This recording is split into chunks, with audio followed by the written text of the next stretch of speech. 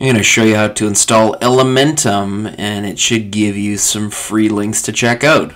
Before we do that, we're going to go up to this gear and click on the gear. Then we're going to go down to this gear and click that gear.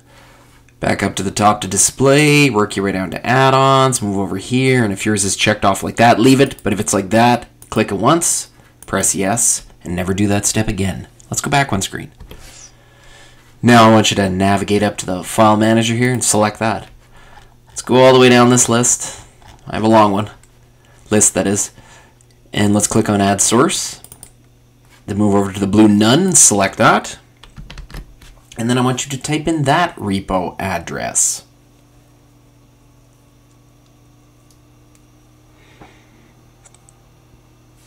Once you've typed that in, let's click OK.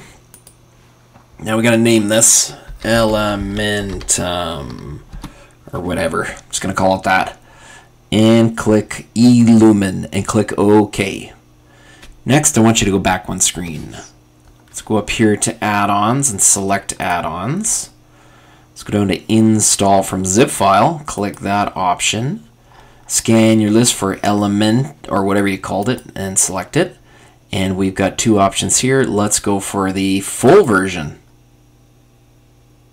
There should be a check mark coming. When you see that, it has successfully installed.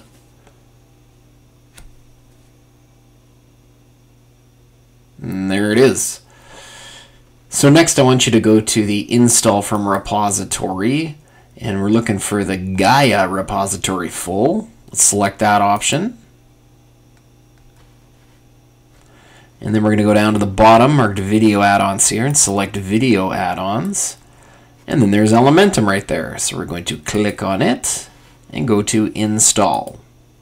And lastly, press OK.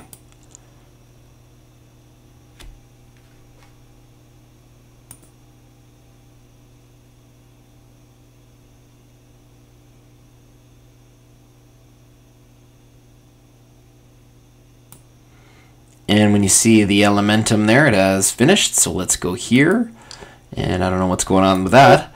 Um, sure.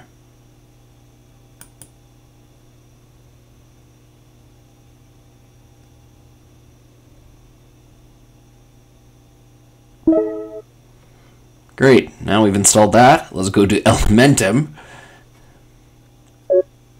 and go to open.